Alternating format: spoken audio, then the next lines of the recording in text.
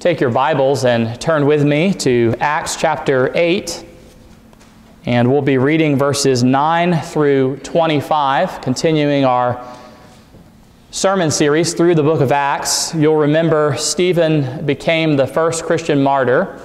And after Stephen died in Jerusalem, a great persecution broke out on the saints in Jerusalem, and the Christians were scattered throughout Judea and then on into Samaria. But in the providence of God, as those Christians were scattered from the comfort of their homes, the gospel was scattered too. And the good news of Jesus was proclaimed in Judea and then on into Samaria. And one of the men who proclaimed the gospel in Samaria was named Philip. He was one of the seven men chosen to serve the needy church in Jerusalem from Acts chapter 6. And as he is preaching the gospel in Samaria, uh, many people are believing and being baptized, including a man named Simon the magician. And in our passage today, we're going to be seeing how Simon is an example of a counterfeit conversion. And we're going to be talking about the sober and serious reality of false conversion in our study today. So turn to Acts chapter 8. We'll read verses 9 through 25. If you're able, please stand in honor of the reading of God's inspired word.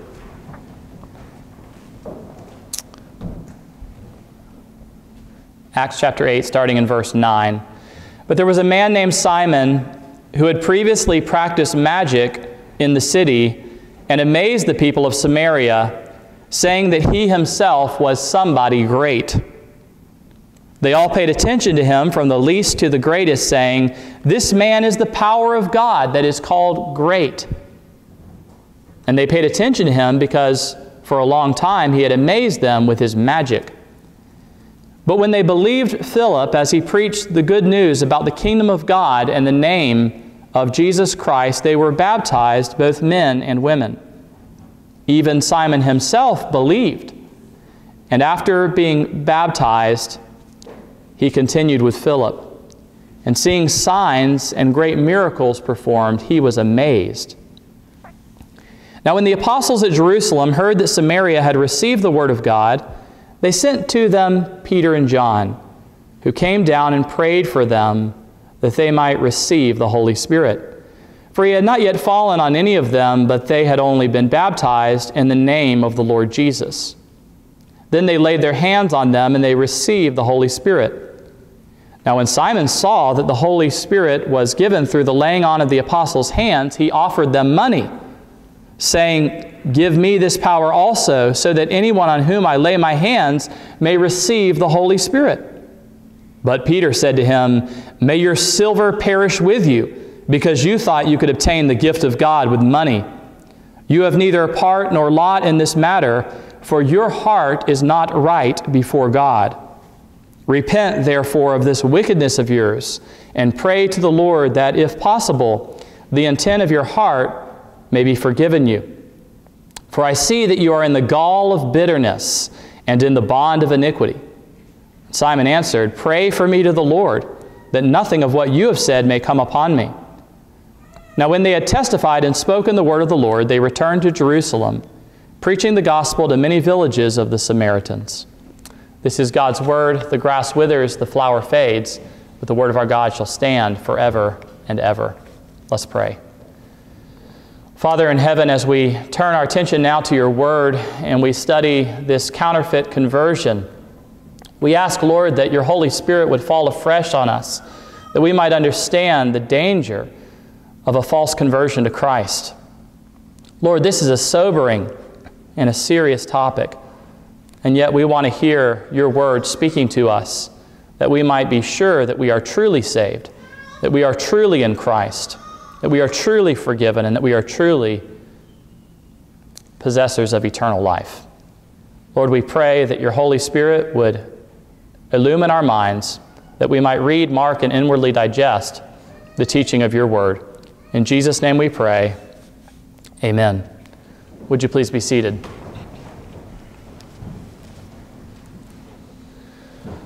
Our passage today confronts us with the reality of counterfeit conversion. When I was a kid, I grew up in a Southern Baptist church. And when I was in elementary school, one of my favorite Sunday school teachers was Ben Fredrickson.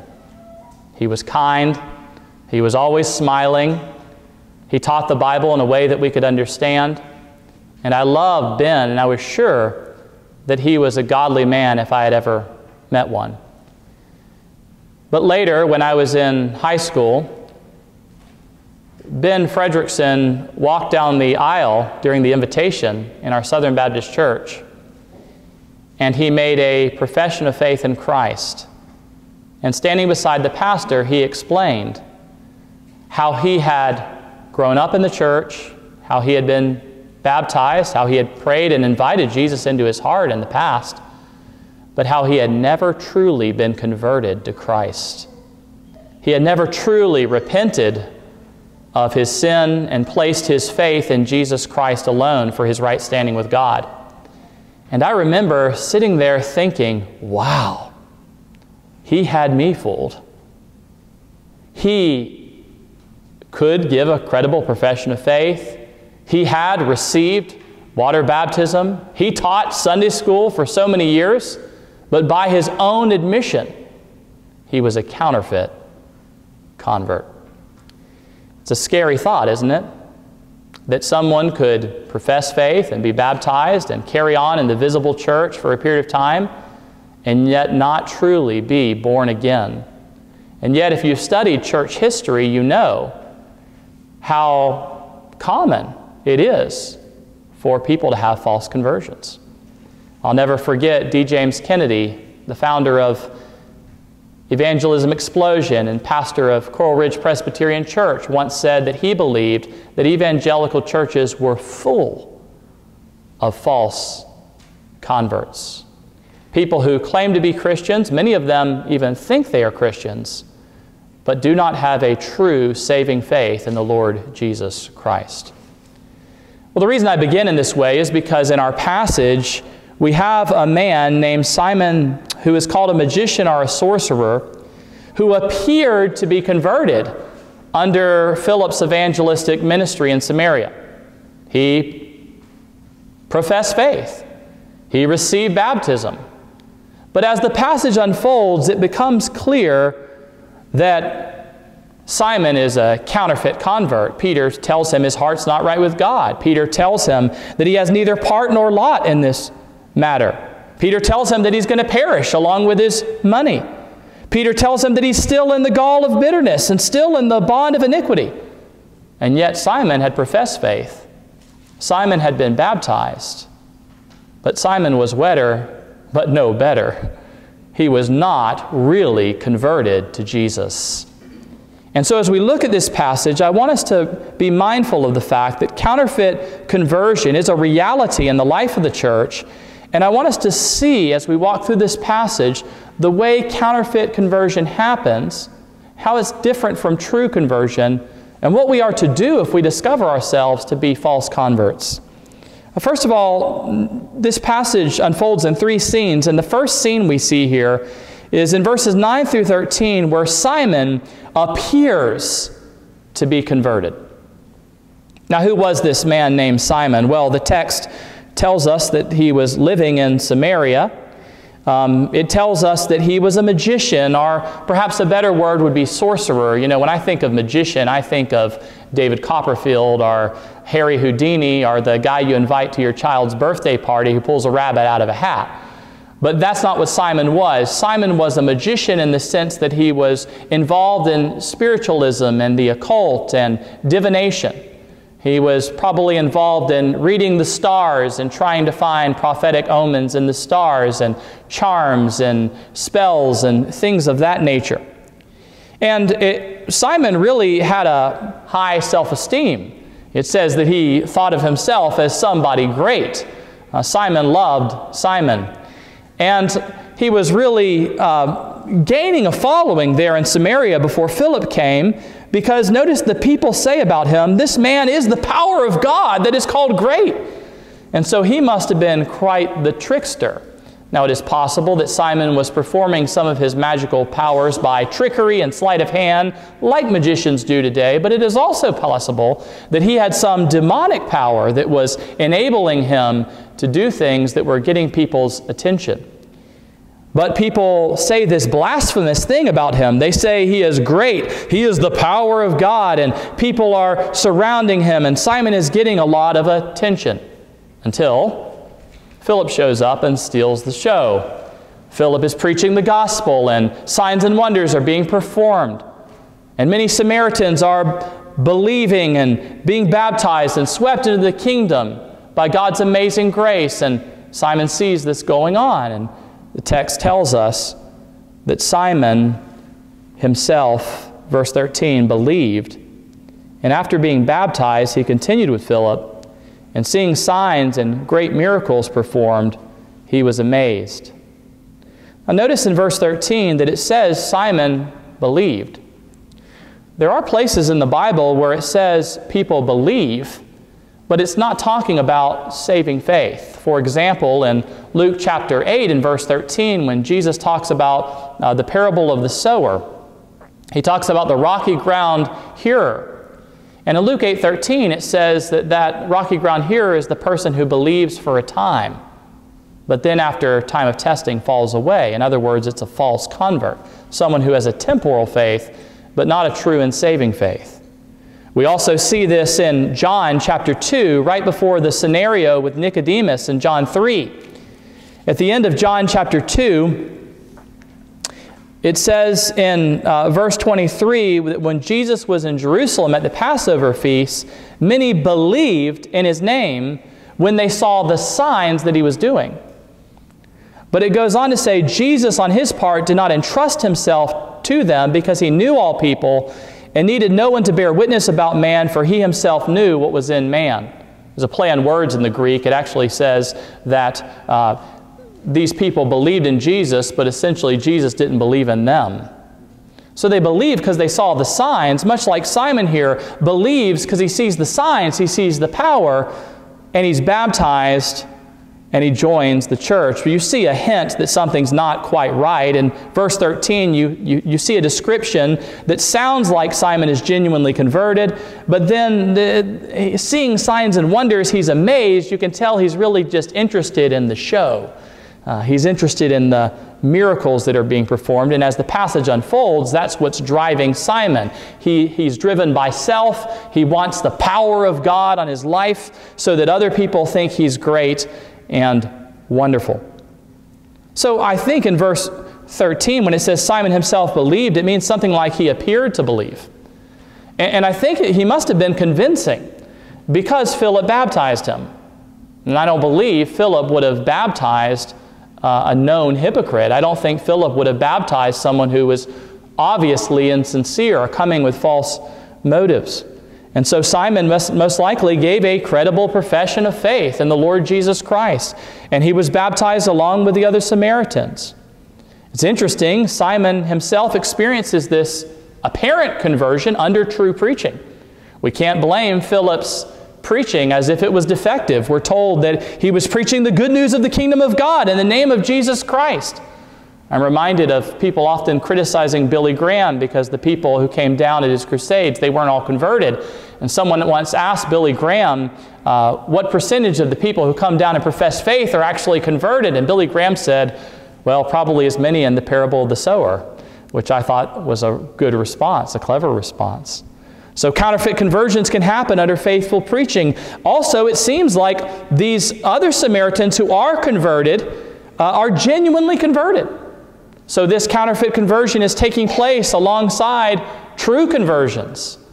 Reminded of Jonathan Edwards, who preached um, during the First Great Awakening and, and wrote a defense of revivals and said, alongside any true revival or any true work of God, there's always Satan's counterfeit. Of course, we know Jesus spoke about the wheat and the tares, and of course, there's the wheat, but there's also the tares that are sown by the evil one. And so you see this counterfeit conversion happening. You need to understand that it, it seemed real.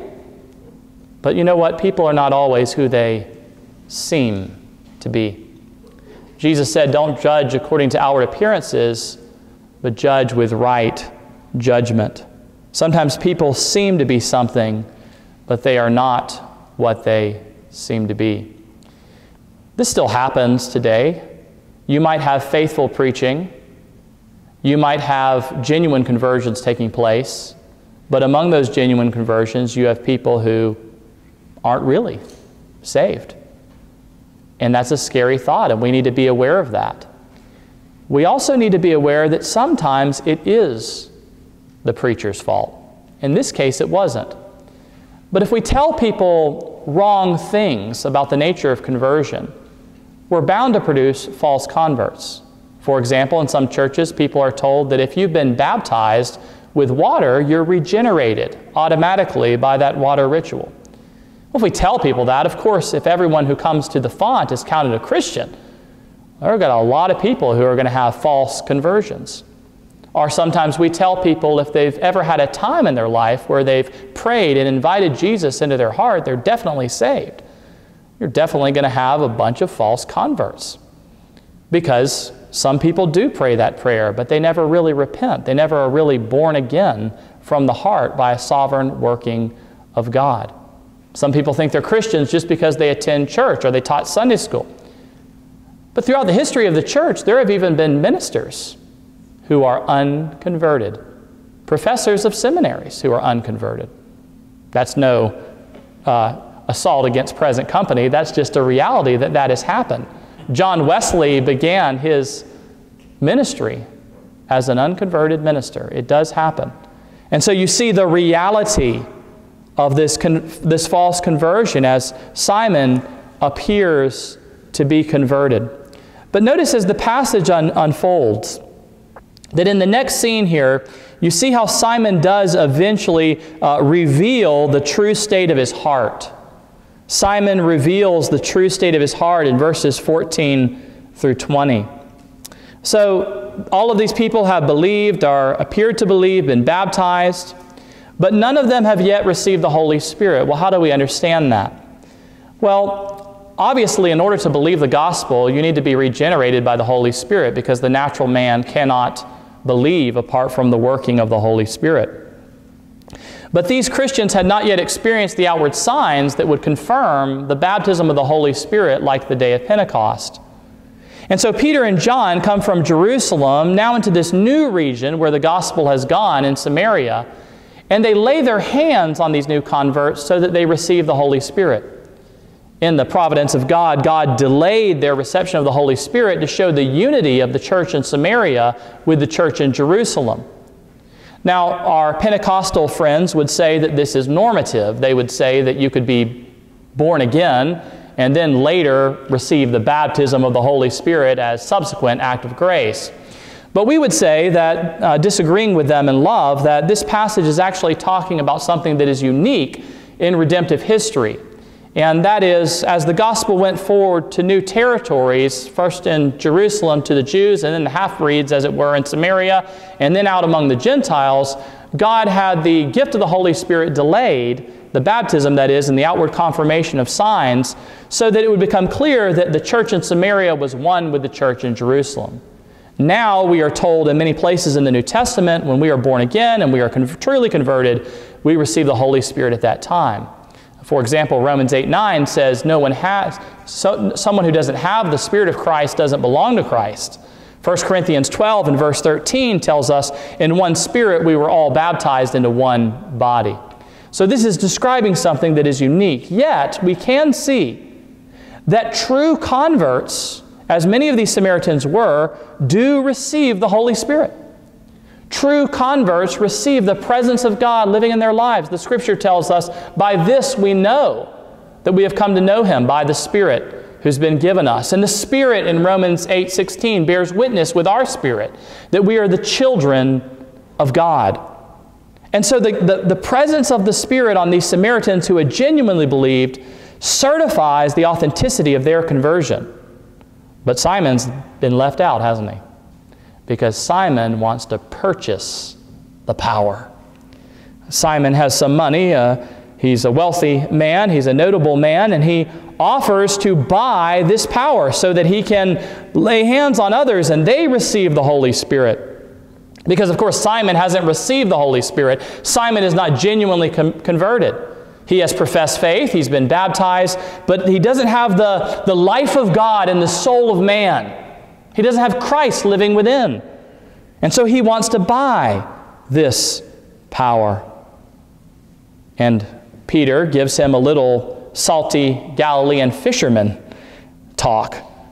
May your silver and gold perish with you because you thought you could obtain the gift of God with money.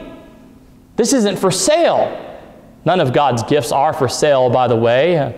Salvation isn't for sale. Ecclesiastical offices aren't for sale. The gift of the Holy Spirit isn't for sale. It's a free gift. But Simon wants to buy it. It's interesting, one translation suggested a paraphrase of what Peter says To hell with you and your money. Pretty hard words. But Peter understands that Simon needs to be confronted because he has revealed the true state of his heart. So notice, the true state of his heart is revealed over time as he doesn't receive the Holy Spirit. And also, you can see here, can you not, that Simon has not really renounced the idols of his heart. Simon is really just still concerned about the power. I want that power. He was calling himself someone great. People were calling him the great power of God. And now Philip has come to town preaching this Jesus stuff, and everyone's paying attention to him now. Can I buy the power of God? He hasn't renounced the idols of his heart. You see, that is a reality when someone is not genuinely converted to Christ. They've never really repented of self. There have, some, there have been some people who've taught that it's possible to be a genuine convert and yet remain a carnal Christian, as if somehow self can remain on the throne and you're truly saved. You're saved, but you're just not obeying the lordship of Christ. Or you've received Christ as Savior, but you've not really received Him as Lord. Nothing could be further from the teaching of the New Testament. If someone is genuinely converted by the grace of God, they renounce their hard idols, they repent, and they trust in Jesus alone to save them. The, you, you don't continue in the same idolatry. You don't continue to be the same old person. If anyone is in Christ, he's a new creation. The old is gone, the new has come. Couldn't be said of Simon. Simon is still interested in the power, he's still interested in the magic, in the sorcery, in the attention. In a bone chilling book that I don't necessarily recommend you read by A.W. Pink, he writes about saving faith. And in his day, A.W. Pink talks about how there are many people in churches who've been told that if they just invite Jesus into their heart, if they just accept Christ as their Lord and Savior, without bowing before Him as Lord, that they're saved. Nothing could be further from the truth. Remember, even in that watershed text in Romans 10 9, that if you confess with your mouth Jesus is Lord, you will be saved. He is Lord. And obviously, sanctification is a, a, lifelong process, but when you are converted, a new life is given to you, and you bow to Christ, receiving Him, yes, as Lord and Savior. He's not two different Jesuses. The one Jesus who saves us is Lord and He is Savior. But Simon has never really bowed before the Lordship of Jesus Christ. Oh, yes, He's appeared to be a Christian. If you were there before Peter and John came down from Samaria, you would say, Simon's legit. He believed and he was baptized along with everyone else. But as the passage unfolds by the inspiration of the Holy Spirit, his heart is disclosed. And the true state of his heart is revealed. He's still in the bond of iniquity, he's still in the gall of bitterness. He is un converted. I can't see into your heart. None of the elders on the session can see into your heart. But in almost every local church, there are people who are on the rolls, who have professed faith and maybe even be regarded to be Christians and have never really been born from above. And the only person that knows the true state of your heart other than the Lord is you. And so there's a, there's a call here, I believe, to 2 Corinthians 13 5 to examine ourselves to see whether or not we are in the faith. If you can make salvation just into a mechanical thing, like I've come to the font, I don't need to question my salvation. Or I've prayed a prayer, I don't need to question my salvation. Paul's words in 2 Corinthians 13 would be nonsensical. Because he writes to a professing Christian community and he says, Examine yourself to see whether or not you're in the faith. And by the way, he goes on to say, Don't you realize Christ is in you? That's the key. Is Christ living in your heart? Do you have a relationship with Christ? As Lord and Savior, are you trusting in Him? Have you renounced your self will and truly depended on Jesus alone for your right standing with God? And do you know that as the Holy Spirit bears witness with your spirit? Or are you just an outward professing Christian? By their fruits you will know them. Time will tell. It will reveal the true state of your heart as it did with Simon, and it did very quickly with Simon, didn't it? It came to be seen. So Simon appears to be converted, but Simon reveals the true state of his heart. And then notice this final scene here. Peter calls Simon to true conversion. Peter says three different things to Simon. He says, Simon, number one, your heart is not right with God. Number two, he says, Simon, you need to repent. And number three, he says, Simon, you need to pray for forgiveness. And essentially, those three things that Peter said to Simon are the same three things that could be said to any counterfeit convert. First, you have to realize the problem. Your heart is not right with God. Secondly, you have to realize that you need to repent. That R word that is so often escapes the vocabulary of gospel ministers. You need to repent. And you need to pray for forgiveness. How did Peter know that Simon's heart was not right with God?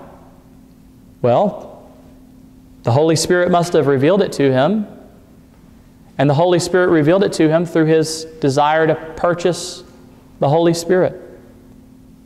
So it became clear by the way Simon was behaving that his heart was not right with God. Some people think that just because you don't know someone's heart with those Holy Spirit glasses, you can't know their heart. Well, your heart is revealed by your deeds. Jesus said, out of the overflow of the heart, the mouth speaks. And so Peter has re- realized that this man's heart is totally wrong. That's what happened to my Sunday school teacher. He realized his heart was not in the right place. Yes, he smiled. Yes, he taught good Bible studies. Yes, he was kind, but he was Christless in his heart. He didn't know and love the Lord Jesus in his heart. He didn't place all of his faith in Jesus Christ for his righteousness. He did not repent. He had never been born again. So there's a need for a heart examination.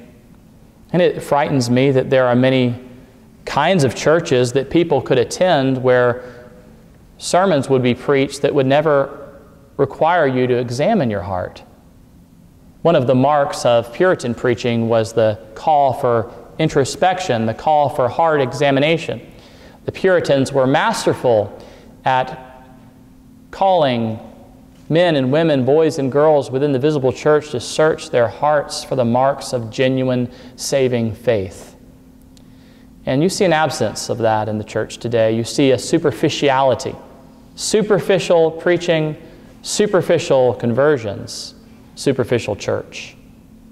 And we are called upon to genuinely consider the state of our souls when we read things like this.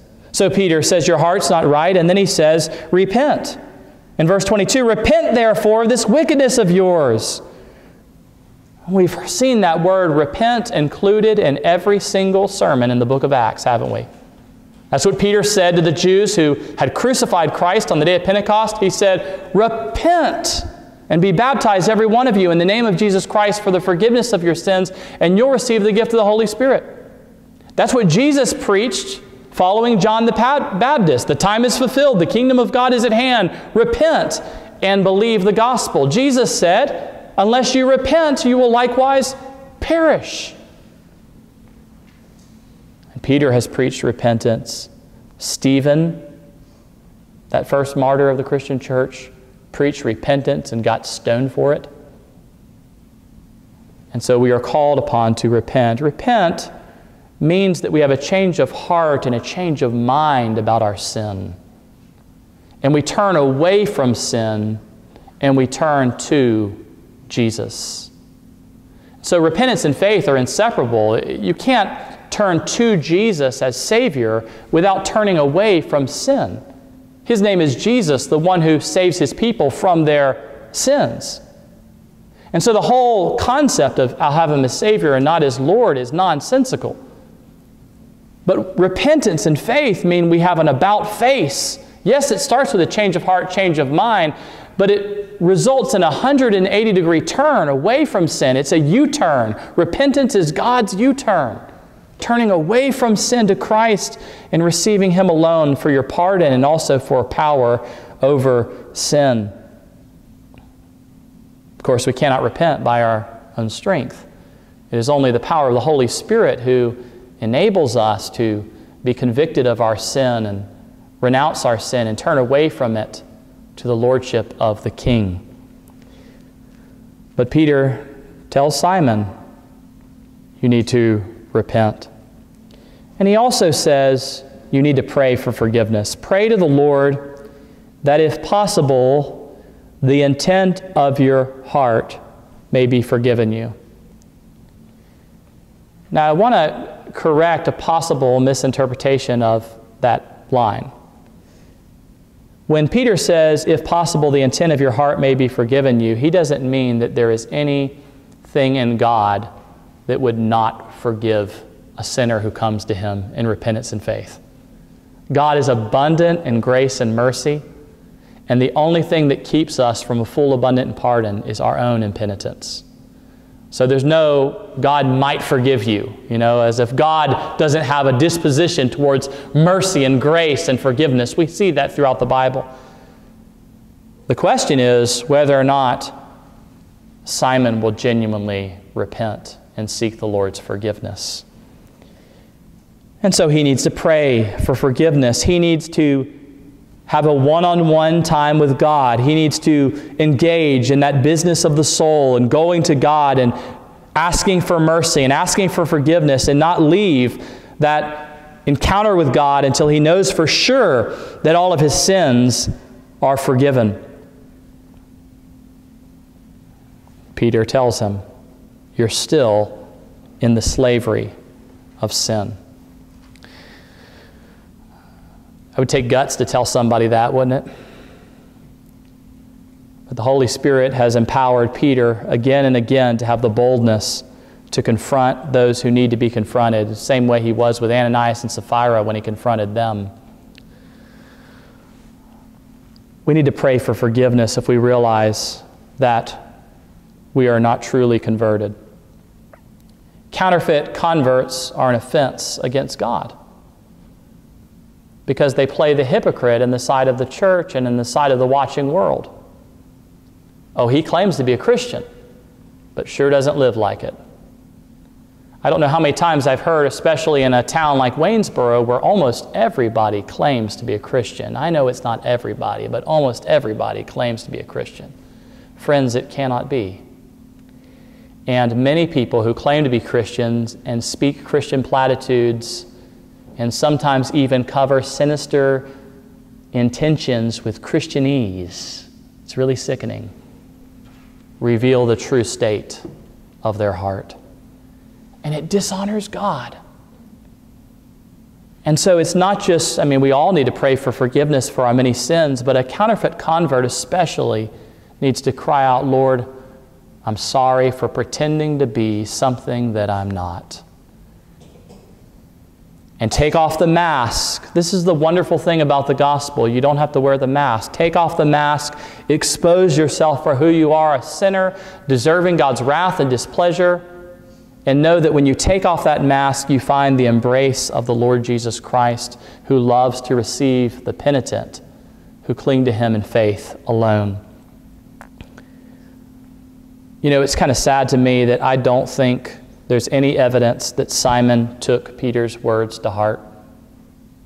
There's a lot of debate um, about the reliability of what the early church fathers say about Simon. Justin Martyr said that Simon later became a heretic and advocated for the heresy known as Gnosticism, and he has a lot of different things to say about Simon. And there are a couple other church fathers that mention him, and all the records are bad. People debate the details and how do you get to the historical core of that. But all the details are bad. And you kind of see here that even in the way it ends, it's kind of like with the rich young ruler who went away sad. You know, here Simon doesn't seem to be repentant. He says, Pray for me to the Lord, that nothing of what you said may come upon me. He's still thinking about himself. I don't want any of that bad stuff come on me. Peter said, You pray. Simon said, Pray for me. You know, I've heard those words of Simon before when I've been talking to people in the community or other people who claim to be Christians and talking about the nature of true salvation and the gospel. You know how many times I've actually heard someone say to me, Pray for me, Pastor. I'm happy to pray for you, but you need to pray for yourself. You need, I can't repent for you. I can't believe for you. I can't be converted for you. You must be born again. Reminded of George Whitefield, who was preaching about the new birth again and again and again. And someone said to, me, said to George Whitefield, Why do you always go and tell people you must be born again? And he said, Because you must be born again. New life in Jesus Christ. Well, I pray that somewhere way down the road, Simon experience true conversion, but I, I would love to see him in heaven and hear his story. But again, there's no evidence of that.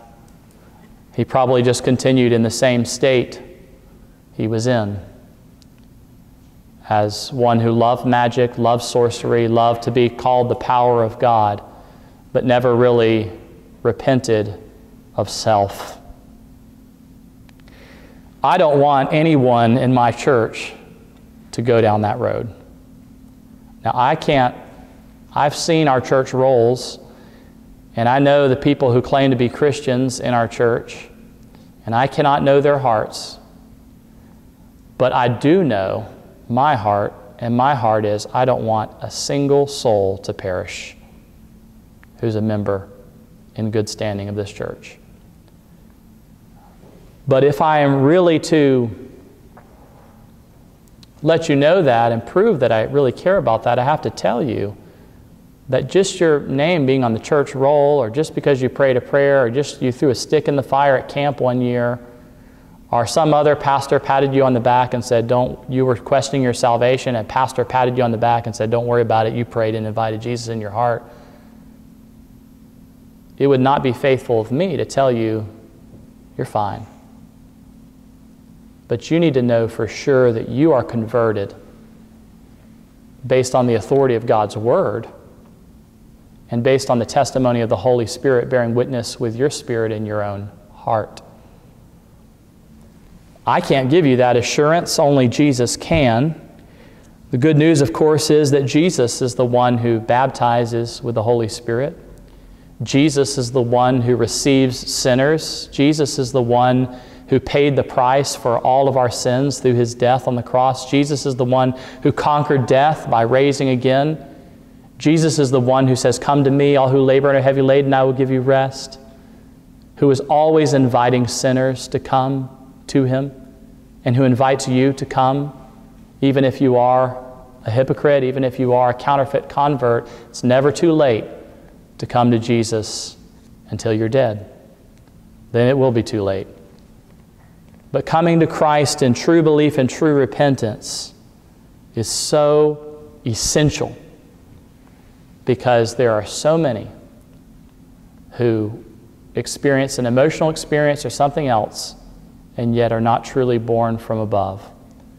When I was a camp counselor, when I was in seminary, uh, we had a camp in Ironton, Missouri for uh, kids from our church, but also kids from the inner city that we would bus in.